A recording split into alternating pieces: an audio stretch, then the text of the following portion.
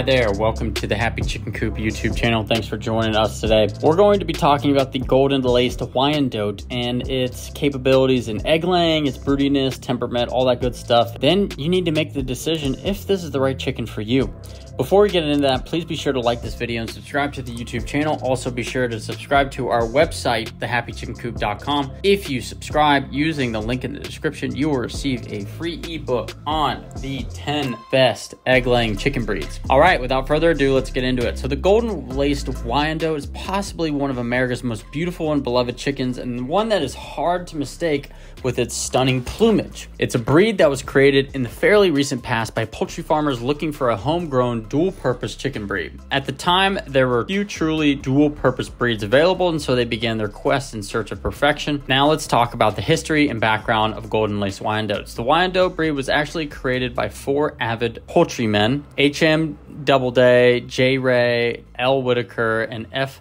Houdlette. It was named after a helpful and generous Indian tribe of the area, the Wendat, later known as Wyandotte. Their desire was to create a bird that laid well, but it could also serve as decent table fare. In other words, a great utility bird. At this time, many chickens were not the best layers and were pretty tough and scrawny. Although most people did eat chicken, it was not the top of the list considered because of its unappealing traits Many types of chickens were used in the genetics of the Wyandotte, but since no records were kept, it appears unlikely we will ever know the true composition of the Wyandotte. It's suspected that the dark Brahma and the silver spangled Hamburg were involved along the way, but no one knows for sure. Now, as for the Golden Lace Wyandotte, this was created by Joseph McKeen of Wisconsin.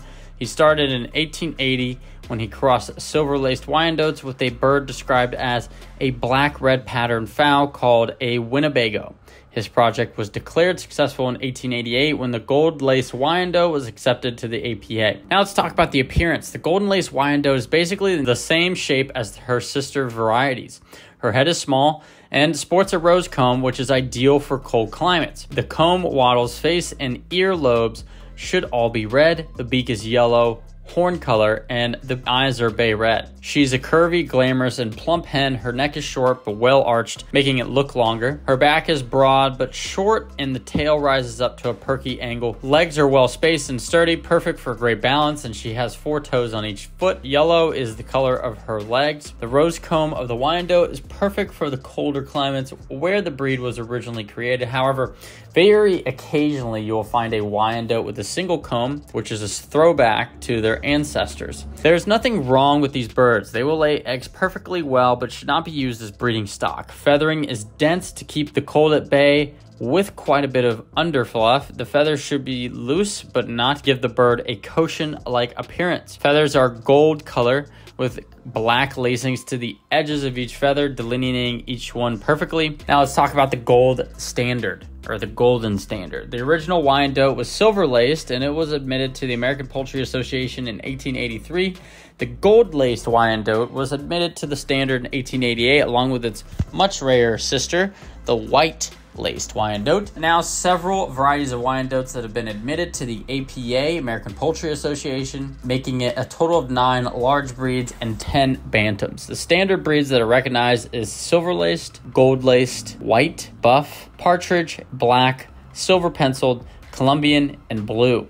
The weight of the standard birds is about eight and a half pounds for males, six pounds for females. As for bantams, you should expect boys to weigh about 26 to 30 ounces and the ladies to weigh 24 to 26 ounces. Now, let's talk about the egg laying and the broodiness. They're good layers of medium sized light brown eggs, laying around 200 eggs per year, just under four per week. They do make great moms, happily raising a batch of chicks for you.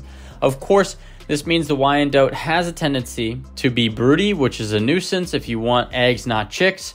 This trait can vary from strain to strain, though. Now, let's talk about the disposition and known health problems. Many Wyandottes have strong personalities. This means they don't tolerate any other bird trying to peck them or pick at them. They are likely to put the aggressor into their place in very short period of time. Wyandottes are usually near the top of the pecking order. Golden lace Wyandottes are docile with their keepers, although their personalities can be said to be cool or aloof to humans. Many people say that they are talkative and friendly, but definitely not a lap chicken, and generally they prefer their own kind and will usually stick together and ignore other breeds. The Wyandotte is a strong and healthy bird, not prone to any health issues or other than the standard parasites as they are quite densely feathered. Lice can be a problem, so keep a close eye out and treat them as and when necessary. All that feathering keeps them warm in the winter making them cold hardy, but summertime can be brutal for them because they need shade and cool water to maintain their comfort and to avoid heat stroke. So, is the Golden Lace Wyandotte right for you? If you want an all American chicken that lays well and can handle the cold, the Wyandotte may be for you.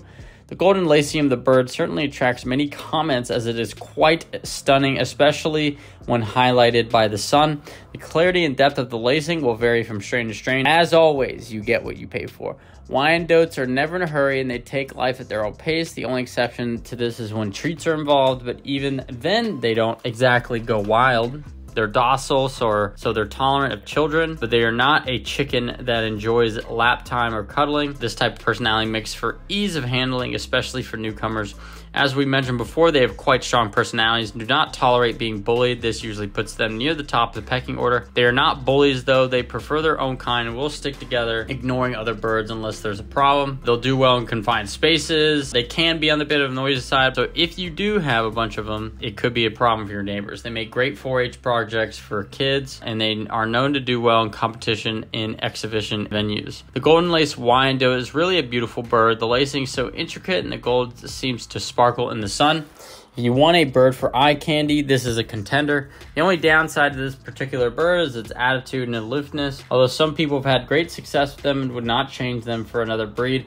Once again, the strain of the bird has a lot to do with the personality. That's going to do it for us here at the Happy Chicken Coop. Thanks for listening. Thanks for joining us today. Make sure you like that video and subscribe to the channel so we can continue to put out great content for everyone. With that, I hope you have a great day and we'll talk to you soon.